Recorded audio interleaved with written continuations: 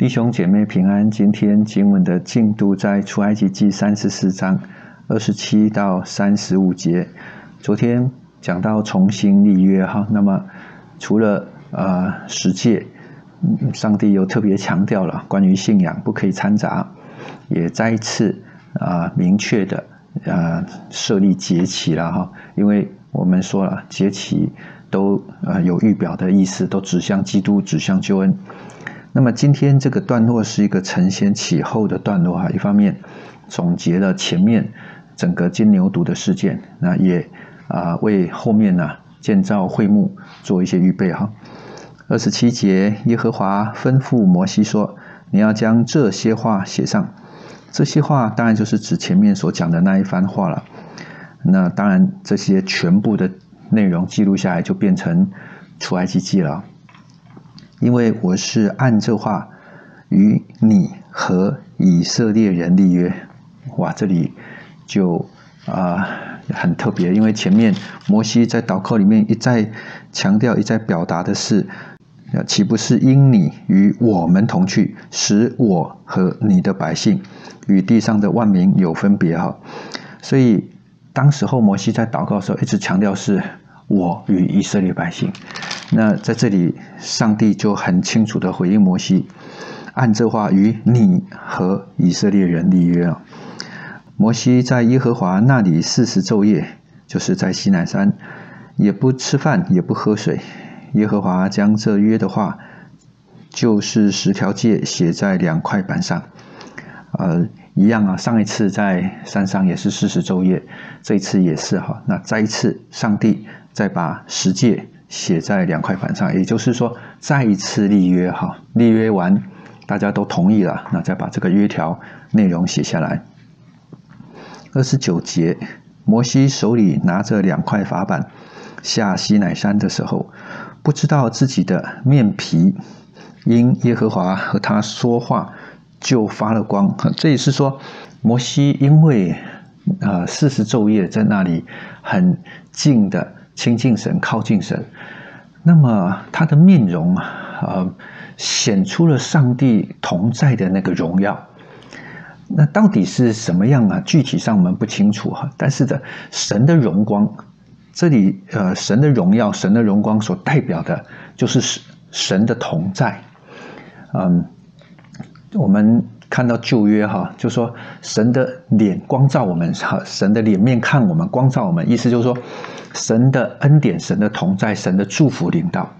可是呢，我前面已经说了哈，上帝的同在，他是我们盼望神同在嘛？我们盼望神的祝福。可是神的同在对罪人来讲也是危险的。在西乃山哈，在呃上帝降临的时候，我们看到呃我们。希望神与我们同在嘛？这个观念我们讲过。可是神的同在呢，是有雷轰、闪电、密云，脚声盛大，然后呢，呃，全山冒烟，耶和华在火中降于山上啊，山的烟气上腾如烧窑一般，遍山大大的震动，有脚声呢，渐渐地高而又高啊，等等，有声声音听得到的，脚声轰隆隆的，有。感觉得到的地震，哈，有看得见的，有密云雷轰，哈，有耶和华降临火山，所以，而且呢，神跟人有一个界限，不能跨越的。神要来与以色列百姓同在，神要在我们中间，这件事情对人来讲是承受不住的，承受不起的。为什么呢？因为我们是罪人，我们是软弱的，我们是败坏的，而神是全然圣洁荣耀的。所以人没有办法，呃，直接去承受神荣耀圣洁的同在。那么，所以当摩西的脸面发光的时候，哈，他所代表的有几个意义，哈。一个是神已经悦纳了以色列百姓，愿意再和以色列百姓同去啊，所以重新立约。所以神愿意继续，不仅带领摩西，也要带领以色列百姓啊，往迦南地区。这是神的祝福，但是呢，同时，呃，上帝是不可轻慢的，神有跟人之间有个神圣的界限，所以中间呢，他。为什么摩西用一个慢字哈？那个慢字后面三十节说，亚伦和以色列众人看见摩西的面皮发光，就怕挨近他。他们平常不怕摩西啊，之前甚至还想把摩西杀死呢。抱怨的时候，众人聚集啊，那个时候情况很危急啊。可是呢，这时候却怕他，那是不是怕摩西嘛？他们怕的是摩西反照出来的那个荣光，有神的同在，有神的荣耀，所以摩西的脸面发光啊，他们害怕，所以需要一个幔子遮着。所以为什么要那个幔子呢？那个幔子所代表的就是因为以色列人的心刚硬，他们的悖逆，才需要那个幔子。因为当时候他们拜金牛犊，所以当摩西这一次下山的时候啊，他们心里面是非常的敬畏跟害怕，因为之前上帝的圣洁，呃，这个公义使得以色列有三千人被杀死嘛，被击杀，对不对？所以这一次摩西又下山来的时候，他们看见哇，摩西脸面发光。一一方面，上帝的同在代表神的祝福，神悦纳这个约；另外另外一个方面，以色列百姓也学会了上帝是不可轻慢的。好，所以这个我们就看到哈，这个帕子所代表的是什么呢？神圣洁的神与软弱的犯罪的罪人之间，需要有一个遮蔽。在西南山那个是什么呢？那个是云彩，云彩遮蔽是，呃，在密云当中，上帝临在嘛，好，不可以靠近那个山，上帝的荣耀被这个云彩遮蔽。在摩西这个时候呢，所代表的是这个帕子，对不对？那后来往后在会幕里边所代表的是什么呢？就是那个幔子，啊，明白我的意思吗？好，那个帕子之所以需要存在。幔子之所以需要存在，是因为人是罪人。啊，当耶稣基督在十字架上舍命死了之后，这个幔子裂开，呃，就有一条这个路可以使我们直接到至圣所里边，可以直接到施恩宝座前。啊，所以人的罪没有除去，那个帕子就必须做一个遮掩。哈，所以是这样的意思。呃，三十一节，摩西叫他们来，于是。亚伦和会众的官长都到他那里去哈。摩西在跟呃以色列人说话的时候，他的脸上是带着荣光的，也就是说象征着神的同在，带着神的权威啊。他先找了首领，首领先去，哎，首领没事啊。以色列百姓比较赶过来哈，所以三十二节随后以色列众人都进前来，他就把耶和华在西乃山与他所说的一切话都吩咐他们。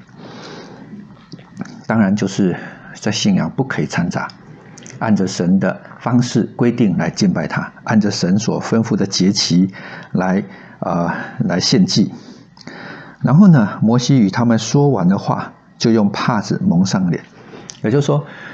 呃，除非与神面对面与人说话，代表神的那个荣光和，神的同在说话，其他的时时候呢，摩西都要把这个帕子蒙起来。好，那我们讲了，这个延伸到后面就是会幕啊，会幕，平常圣所的幔子是遮掩的。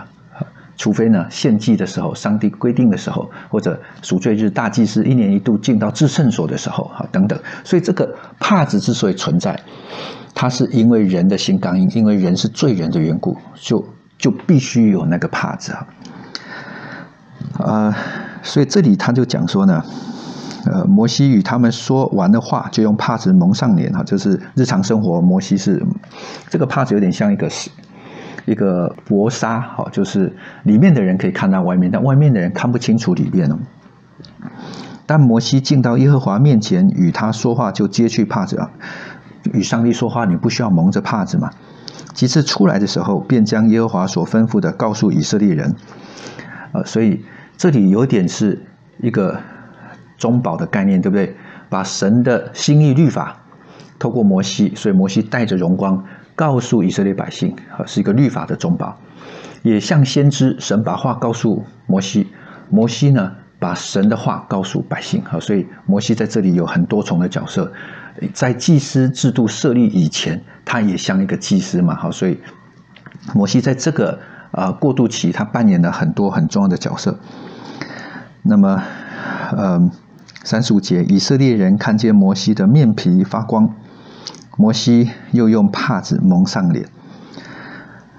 呃，这里是说，除了摩西到耶和华面前与他说话的时候揭去幔子，以及跟以色列众人说话的时候带着神的权威权柄说话的时候，啊，没有没有幔子，其他的时间呢，他都会蒙上，用帕子蒙上脸，然后等到他进去与耶和华说话，就揭去帕子。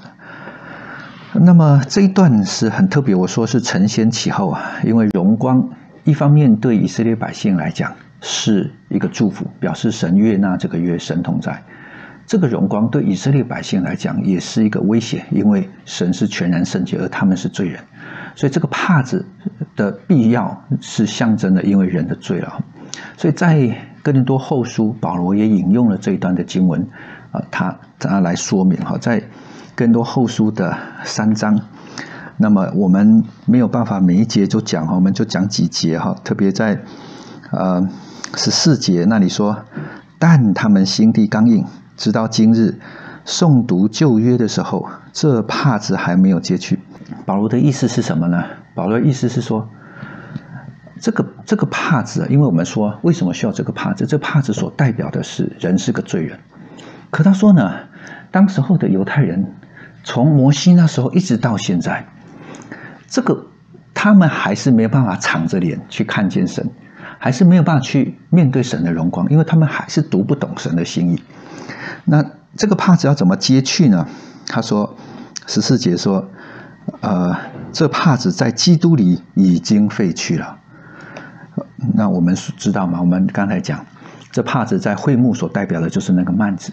耶稣基督他受死的时候。呃，断气的时候，幔子就裂开了，所以，呃，人就可以坦然无惧的到施恩宝座前，到神的面前，所以我们就不需要，因为这个帕子本来就是因为罪的缘故，现在我们就可以敞着脸到神那边去。所以保罗就继续讲说，十六节，但他们的心几时归向主，帕子就几时除去啊。他在说明这个，这帕子在基督里已经废去哈。十八节，我们众人既然敞着脸，得以看见主的荣光。就是我们现在可以直接到施恩宝座前，我们可以直接到上帝面前，我们在敬拜他，我们在颂赞他。然后呢，好像从镜子里反照，我们去到，我们就变成像摩西啊，到神的面前敬拜神。那么神的荣光呢，直接反照在我们脸上，好，就变成主的形状，荣上加荣，荣上加荣就是呢。荣光呢，逐渐的加增，因为我们不断的朝见主、敬拜主，我们就越发的有主的荣美，有主的形象，如同从主的灵变成的。哇，这是非常棒的恩典。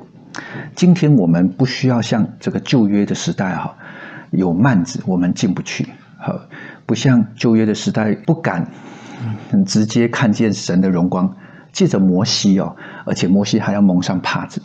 现在我们可以敞着脸直接到施恩宝座前，我们可以直接到神的面前去。那么，呃，我要表达是说，我们更应当哈，常常到上帝那边去，让神的荣光来反照我们。好，常常亲近神，读神的道，祷告，聆听神的声音，按着神的心意，好活在神的爱中。所以，我们的生命就越发的显出那个荣美，对人的爱，对人的恩慈。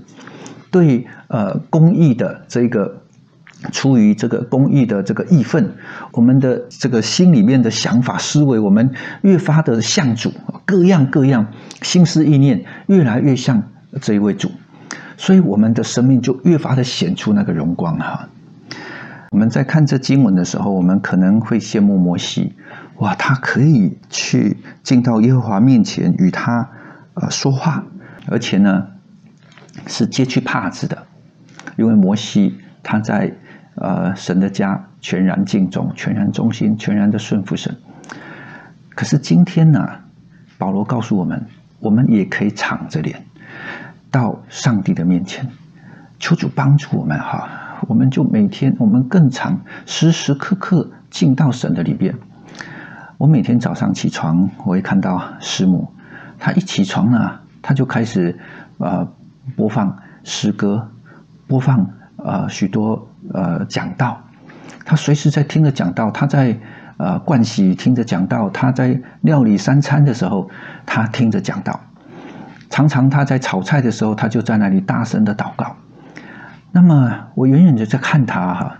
他眼睛炯炯有神，在思想着神的道的一字一句；或者我看到他在为弟兄姐妹祷告的时候，他哽咽落泪，为着弟兄姐妹的状况需要，在那里心疼，在那里啊求神施恩，求神医治，求神怜悯。我看到一个爱主的姐妹，非常的柔美。各位弟兄姐妹，求神帮助我们。今天我们可以敞着脸到上帝的面前去，求主帮助我们，就是。时时刻刻到上帝的面前，让我们身上可以显出那个荣光，叫世人看见我们与人不一样。我们显出神的爱、神的慷慨、神的恩赐，让教会在社区里边也被人家看见我们不一样，叫人看见我们，他们会知道耶和华明明的与我们同在啊，与教会同在，彰显那个荣光，彰显那个。呃，神同在的那个威严圣洁，求神帮助我们。我们今天比摩西站在一个更有恩典的位置上。我们从今天起就要好好的来亲近他。我们一起来祷告，亲爱的主，我们呃会羡慕摩西，他可以敞着脸到你的面前，他的脸上可以反照你与他同在的荣光。主啊，如今我们的罪已经全然的。呃，被钉在十字架上，我们可以敞着脸到上帝的面前。哦，主啊，求你施恩帮助我们，时时刻刻到你的面前亲近你，依靠你，叫我们生命当中更多的显出那个荣耀，显出你同在的那个恩赐。显出你同在的那个圣洁，求你施恩祝福你的教会，在世界各地的教会，特别在疫情影响的这个时候，我们活出那个盼望，活出那个力量，活出那个圣洁，活出那个你同在的大能。谢谢主，听我们祷告，奉耶稣基督的名，阿门。